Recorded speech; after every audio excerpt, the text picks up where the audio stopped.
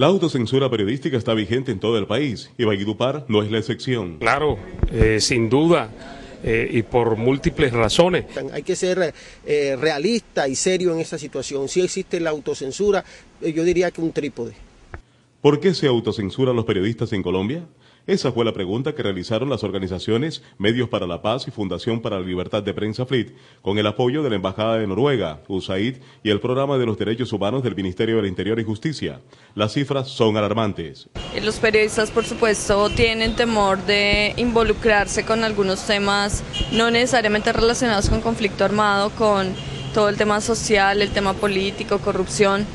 El estudio se realizó entre 2009 y 2010 en varias regiones del país, incluida la costa caribe, y seleccionó zonas del país donde no solo se registran más casos de violaciones a la libertad de expresión, sino que también impera un silencio que impide conocer de manera clara la realidad. Que propondríamos desde las organizaciones es poder eh, encontrar algunas alternativas para... Mm, proteger a los periodistas, la vida de los periodistas, pero también para hacer posible que la información salga de las regiones. En Valledupar y el Cesar, los periodistas reconocieron que efectivamente sí existen temas vedados para publicarlos por múltiples razones, seguridad, pauta publicitaria, dueños de medios y presiones políticas, entre otros. Eh, no podemos ser ajenos que acabamos incluso de pasar un periodo en el cual el periodismo en el departamento pasó momentos muy duros, muy críticos. Censura sí, creo que de alguna manera la he practicado, mm, la he sentido. Este es un tema que hay que manejarlo con mucho cuidado.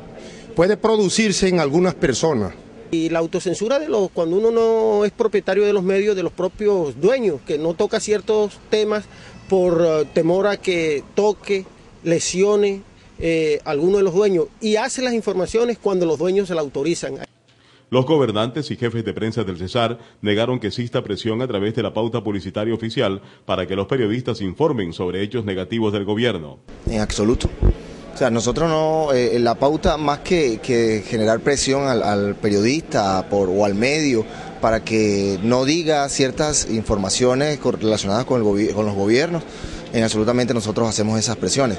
El gobernador del Cesar no puede predicar y no aplicar eh, nuestro criterio no solo de defensa, de reivindicación de derechos y de principios, eh, ha sido respetando. No, no, no, no. Eh, por lo menos en, el, en el caso de nosotros como entidad rectora del medio ambiente, claro que no.